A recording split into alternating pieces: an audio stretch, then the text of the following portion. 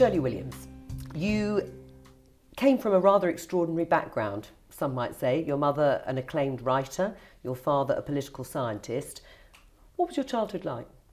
Oh, wonderful. Um, partly, one of the reasons for that was my father was, without any question, delighted to have a daughter. And he always brought me up to think, you can do anything. We're talking, after all, about the 1930s. This wasn't a common attitude by uh, fathers. I mean, mothers were loved their children, they was expected to. But most fathers in the 30s were rather disappointed to have a daughter. The second thing was that my, I always understood and never resented the fact that my mother, as a writer, would firmly shut herself away at 9.30 in the morning and reappear at sort of 5.30 in the afternoon, having spent the whole time in between working like mad on writing.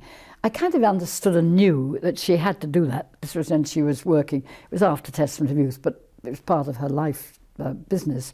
So again, in my household, nobody thought it was odd that a woman should be professional. Nobody thought odd that she should spend a lot of her time working. Did your mother encourage you or inspire you to go into politics? When I was very little, I wanted to be an opera singer, but that lasted about five years. And then very early on, I wanted to go into politics. I remember thinking it was the obvious thing I wanted to be. And by the time I was 15, I was pressing to join the Labour Party as a member. She won a scholarship to Oxford, and there she set her heart on politics. At 24, she stood for the port of Harwich. In spite of the nautical smack of her publicity handout, she didn't succeed the first time, or the second, or the third. It took 10 years to win a seat and enter the male preserve of politics. What was it actually like trying to get a seat at that time as a young woman? Well, I, I had two strikes against me. One was being a woman, the other was being a Roman Catholic, and it was awful hard to discover which was the main reason why it was hard to get a seat.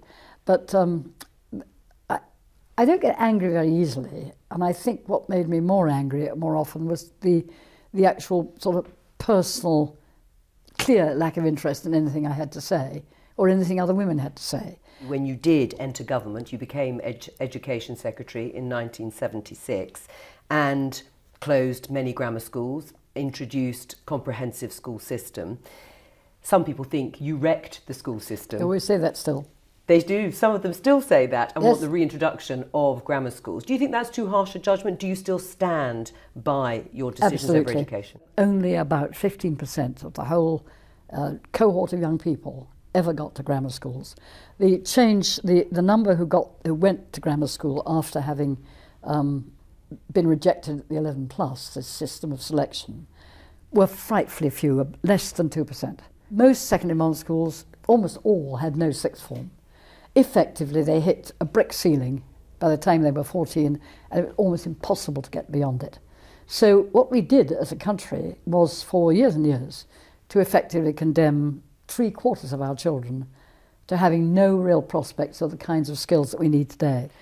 Let's return to your time as a member of the cabinet. Did you at that stage think you could ever become Prime Minister? Yes, I thought I could because people told me I could. But I think I probably never believed that I was able enough to be the Prime Minister. I didn't have that kind of complete conviction in myself that, for example, Mrs. Thatcher had. But there was another factor too, which I think I should be honest about. Um, I think Mrs. Thatcher would never have been Prime Minister. She and I went to the same college and all the rest of it, unless she had had what she did have, which was a totally supportive spouse. Did you not have that? No, I didn't. First of all, um, my husband fell in love with somebody else by the time we'd been married for about 13 years when I was ploughing my way up the political front, and he was ploughing his way up the academic one. But by the time it became the sort of key decisions had to be made, which was 19 I suppose, 1970 and again 1974. Uh, effectively, he had gone by 1970. Um, I understood why, though I, I did love him a lot, but it, it probably wasn't ever going to be a, the right person for a would-be woman politician to, to marry. For all those reasons, I didn't have the supreme confidence in myself that uh, I think undoubtedly Mrs Thatcher had. By the late 1970s, politically Labour was in quite a lot of trouble. It certainly um, was. After a decade, really, of strife in the country. Had you, by that stage, made up your mind that the Labour Party was not going to be your future political home? not only me, but also, of course, my, my colleagues, particularly uh, Bill Rodgers and uh, David Owen, were all pushed over the edge by the same thing. And that was that we had, um, we had all been heavily involved in the 1975 referendum. We had been on whether we should stay in Europe. Exactly five years later, four years later, the Labour Party, after losing the 79 election, then at the executive level, the party level, came out with a commitment to uh, reconsider staying as members of the European Union. We found that so irresponsible and so ludicrous that we couldn't support it. How did it actually happen, practically? The Gang of Four, the setting up of the SDP? It was great fun.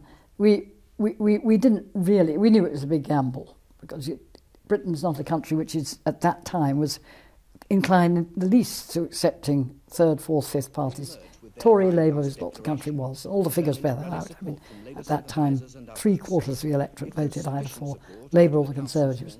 We wanted a different sort of party. We also wanted to end the class conflict thing. But we felt that the only way we could do that, being true to our own principles, which were social democratic principles, was by starting a new party. What do you think is going to happen to the Liberal Democrats in the election? Do you think they'll be wiped out, as some no, of the doommongers are predicting, or do you think they'll be in another coalition?